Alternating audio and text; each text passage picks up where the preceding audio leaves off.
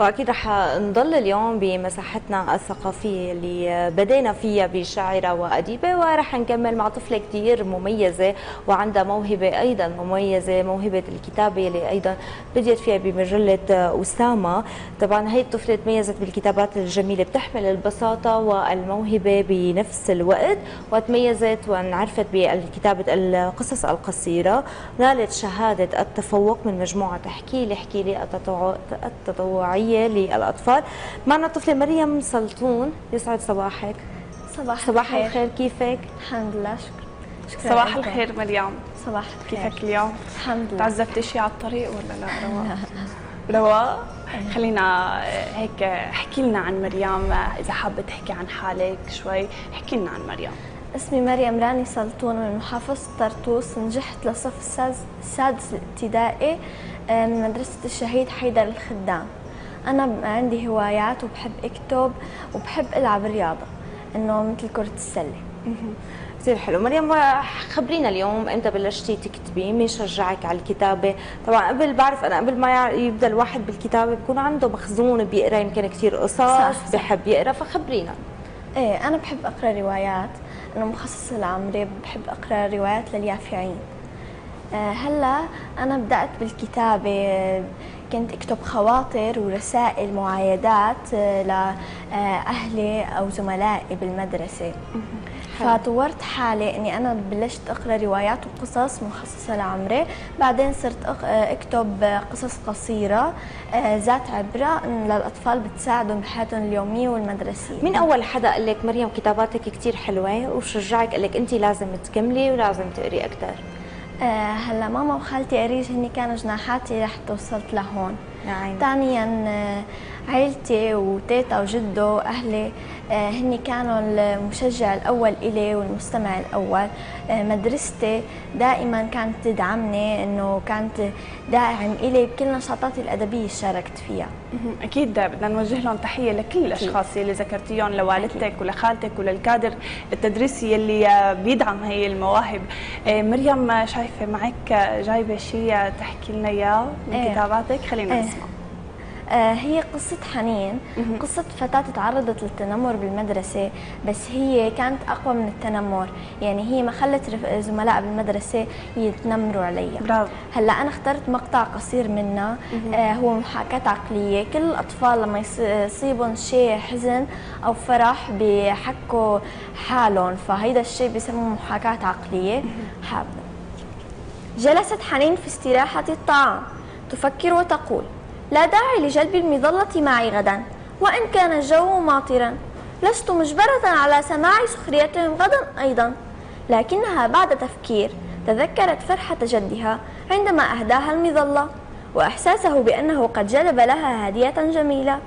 ثم قالت بشجاعة لا لا لا سوف أستعملها إن أعجبتهم أو لا.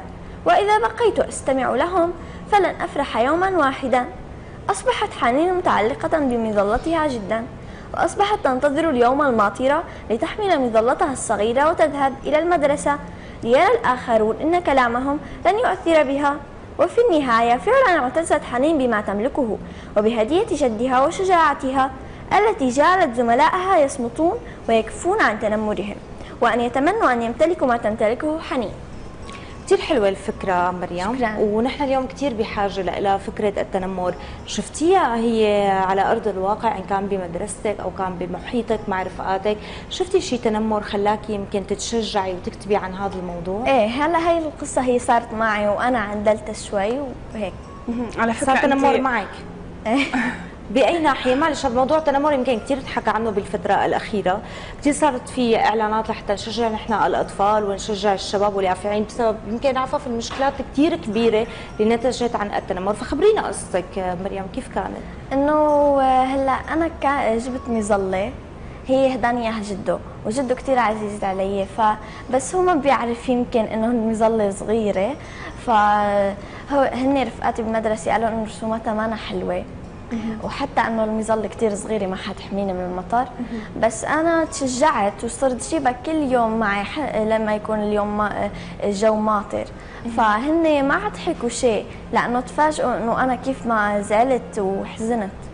انت حدا كثير قوي يمكن انت قلبتي هي الحساسية أو هذا إيه. الموضوع بكرة رح تعملي رأي عام ورح تحكي كثير إيه. عن هذا الموضوع يمكن إيه، بسبب موقف صغير نحن بخلينا نبدع ونخلق أفكار صح. جديدة وأكبر مريم آه، انت كبداياتك أو آه، كنت تتابعي برامج أطفال أو أفلام كرتون متأثرة إيه. فيها خلتك تكتبي شيء محاكاة لهي الأفلام ولا بس بتتابعي وبتاخذي منهم أفكار هلا؟ صراحة برامج الأطفال ما أعطتني الدافع وما أعطتني الأفكار هي الكتب الروايات اللي أنا بقرأها هي اللي أعطتني الأفكار والدافع بس آم، أنا لقيت أنه من الجميل أنك تقري رواية بعدين تشوفيها كفيلم كرتوني مثل صاحب الظل الطويل. هي رواية مخصصة للأطفال ممكن يقروها الكبار كمان للكاتبة جين ويبستر.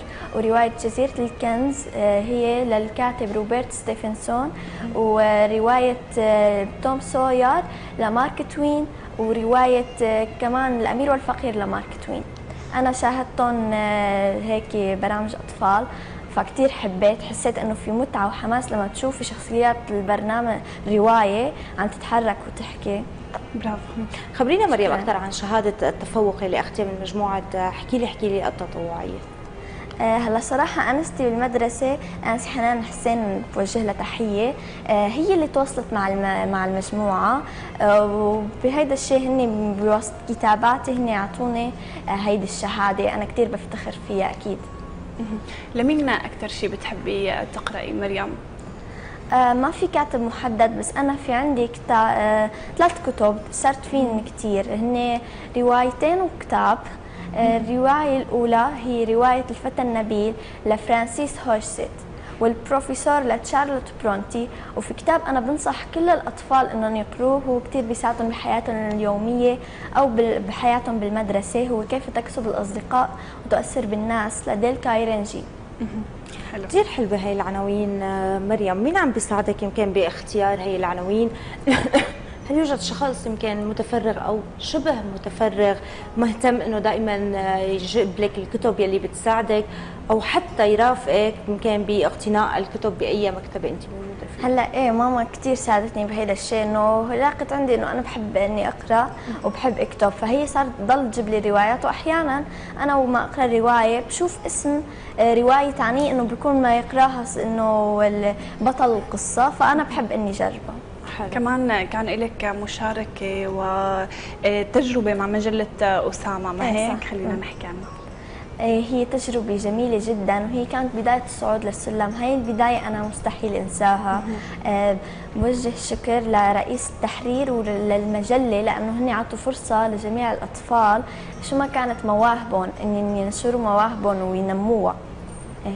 أنت أول شيء. شاركتي بالرواد لا لا لسه هي مجلة أسامة على فكرة كانت على أيامنا نحن لما كنا صغار إيه، وبعدها صح. مستمرة بهذا التطور سواء من ناحية الألوان صح. والرسومات وحتى صح. مشاركات الأطفال فأنا كثير مبسوطة أنه مريم أنت كنتي معنا لليوم آه، شكراً. بكل إنجاز قد ما كان صغير وقد ما كان كبير أنت قدمتي اليوم أنا بدي أتمنى لك كل التوفيق شكراً. أمك اللي أكيد هي موجودة معنا بالاستديو عم تعطيكي كل الدعم نحن بحاجة كثير لهيك أمهات اليوم بيقدموا الدعم وكل الاهتمام لأطفالهم مدرستك كمان لكم. اهتمت فيكي شكرا شكراً لك. مريم وكل بس التوفيق قبل شكراً كمان لكم. قبل ما نختم لازم نسألها لمريم عن حلمها وشو حابة تصير. إيه أنا بحب إني أصير كاتبة مثل الكتاب اللي بقرأ لهم الروايات بحب إني أكتب لليافعين أو أكبر. إنه أكتب لليافعين روايات وهيك. الله. حالك هون أنت. إيه. إن شاء الله أكيد بدنا. شكراً. نتمنى لك كل التوفيق يا شكرا. مريم شكرا لكم. كل التوفيق لك. شكرا لكم.